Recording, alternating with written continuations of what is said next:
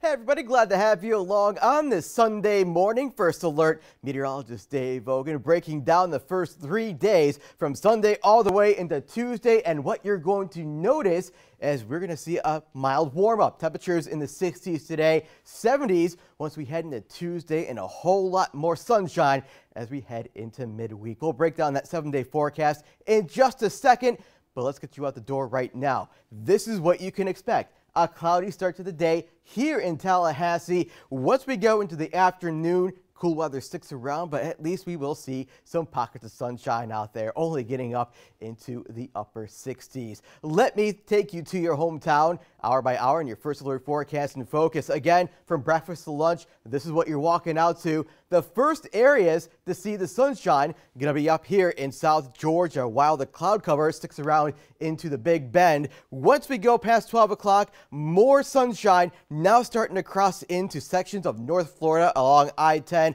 all the way into Madison County. The areas that will see the clouds hang on the most is going to be the coastal area. So Carrabelle all the way into Perry, you are going to see lots of cloud cover throughout the entire day.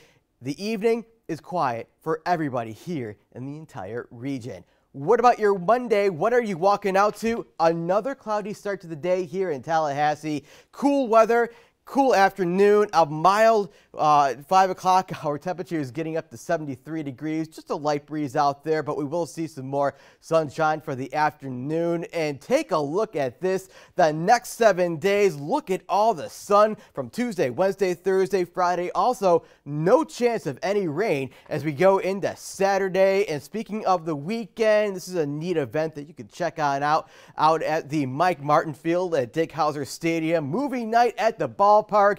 Gorgeous weather for that. Temperatures into the low 70s for the 6 o'clock hour. Nice, comfortable, and cool.